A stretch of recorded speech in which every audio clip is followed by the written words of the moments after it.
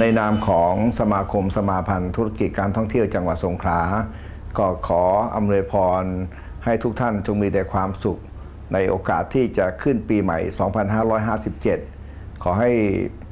คนไทยทุกคนในประเทศไทย และก็พี่น้องจังหวัดใกล้เคียง และชาวหาดใหญ่สงขลาทุกท่าน จงมีแต่ความสุข สมหวังในทุกสิ่งที่ปรารถนา และในวันที่ 30-31 ธันวาคมนี้ ทางสมาคมสมาพันธ์ธุรกิจการท่องเที่ยวจังหวัดสงขลาร่วมกับภาครัฐและเอกชนหลายหลายๆองค์กร ได้จัดงานส่งท้ายปีเก่าต้อนรับปีใหม่ขึ้นที่หาดใหญ่ ในงานวันนั้นก็คือจะมีสีสันและความบันเทิงมากมาย ก็อยากจะเชิญชวนทุกๆทท่านมาร่วมสนุกสนานมางานเข้าดาวหาดใหญ่ ในวันที่ 30 และ 31 ธันวาคม 2556 นี้ และในคืนนั้น เราก็มาร่วมกันเข้าดาวสวัสดีปีใหม่ 2557 กันนะครับ